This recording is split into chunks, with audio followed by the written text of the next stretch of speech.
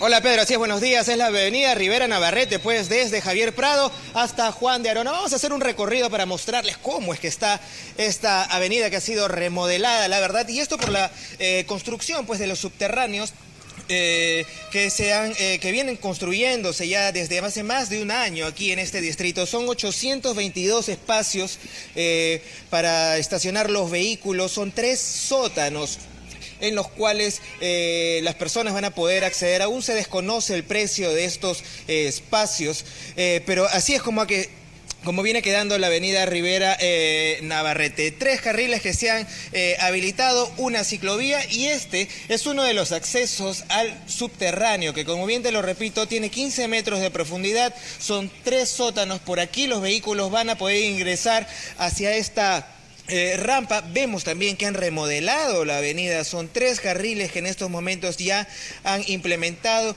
hay una ciclovía que tiene dos carriles. Además han colocado, vemos al alcalde que está también manejando el bicicleta, vemos ahí al alcalde que está eh, con su casco eh, inaugurando pues esta hermosa ciclovía, han colocado señalización semáforo semaforización también en este punto.